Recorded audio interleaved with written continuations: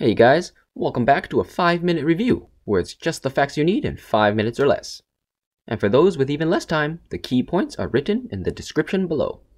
So today, we'll be taking a look at the Starter Deck 2, Cocytus Blue, for the brand new Digimon card game. Starting off, here we have the packaging. Here's the front, with the set code written at the top, ST2, top of the box, and bottom. Just like before, on the left side, we have the URL and QR code for the official site, and on the right side, we have a deck checklist. Finally, on the back, a breakdown of everything included in the box. So, with that out of the way, let's take a look inside the box. Out of the box, the deck is held together with a thin plastic strip.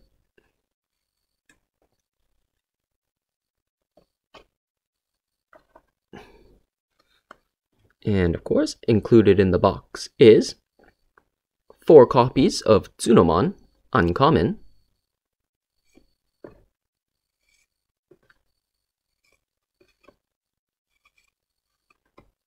four copies of Gomamon Common,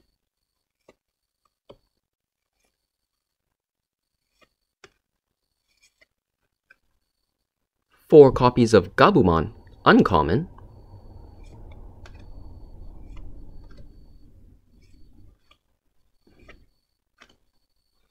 four copies of Bearmon Common,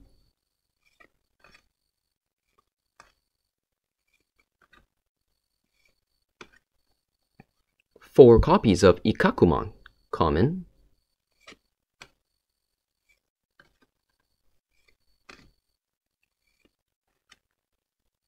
two copies of Garurumon Uncommon,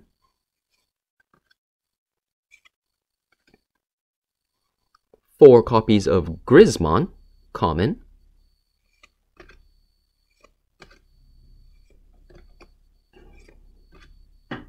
four copies of Weregarurumon Rare,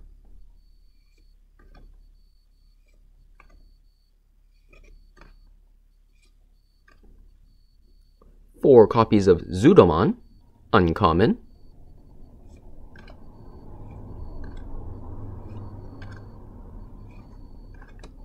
two copies of Plesiomon Rare,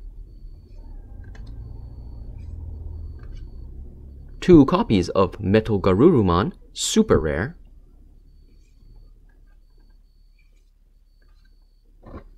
four copies of Ishida Yamato Rare,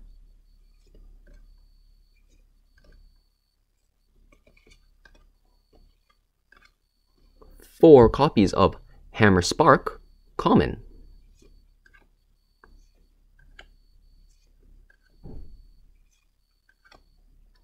four copies of Sorrow Blue Common,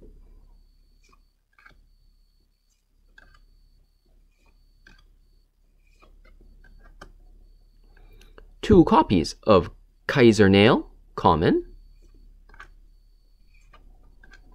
and finally, two copies of Cocytus Breath Uncommon.